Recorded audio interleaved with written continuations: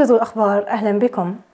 أكدت وزارة الشؤون الخارجية والجالية الوطنية بالخارج في بيان لها أن الحكومة الجزائرية لا زالت تتابع باهتمام بالغ تطورات قضية وفاة الشاب نائل الذي لاقى حتفه برصاص عون شرطة في إشارة مرورية.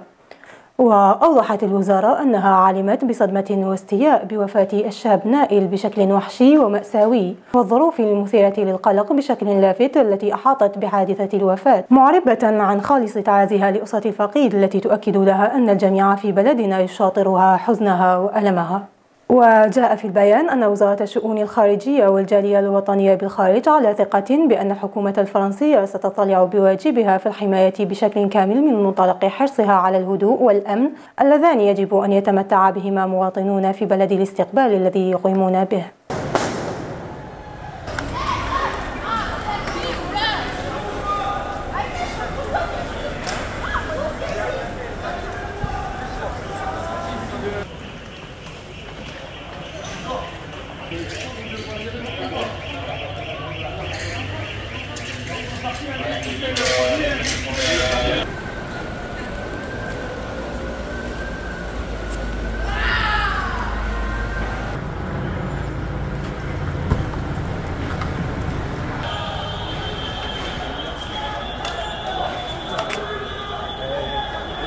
Gracias.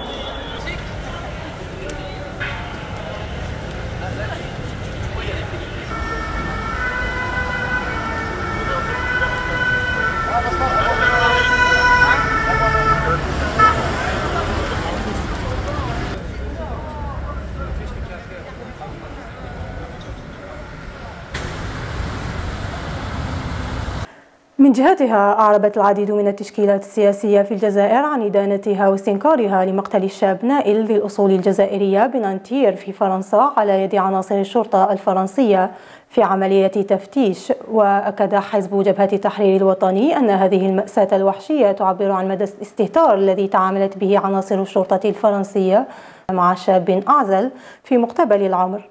متسائلا عن المبررات التي تم على أساسها إطلاق النار على هذا الشاب الجزائري واغتياله بكل برودة أعصاب. وسجلت حركة البناء في بيان لها عن تضامنها الكامل مع الجالية الجزائرية المقيمة بفرنسا عقب الحادث المروع لإطلاق النار على شاب من أصول جزائرية من قبل بعض أفراد الشرطة الفرنسية في تدخل غريب ومثير للجدل.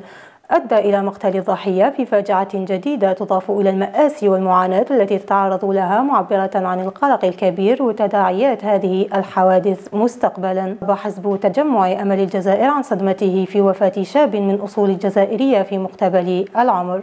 وذلك على أيادي الشرطة الفرنسية في حادث مأساوي ومستفز ينتهك حقوق حياة جاليتنا في المهجر. معلنا دعمه لكل الجهود الصادقة في كشف ملابسات الحادث المؤسف وتحقيق العدالة والسلام والاستقرار.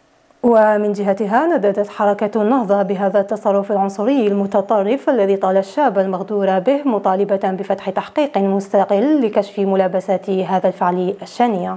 في حين أن السلطات الفرنسية نشرت صبيحة اليوم 45 ألف شرطي ومركبات مدرعة موزعين عبر المدن الكبرى بعد تعرضها لأعمال شغب لليلة رابعة على التوالي ما أثار ثورة غضب خاصة في مارسيليا ليون ليل باريس وغيرها. وحسب الداخلية الفرنسية فقد تم إيقاف 994 شخصا خلال ليلة رابعة.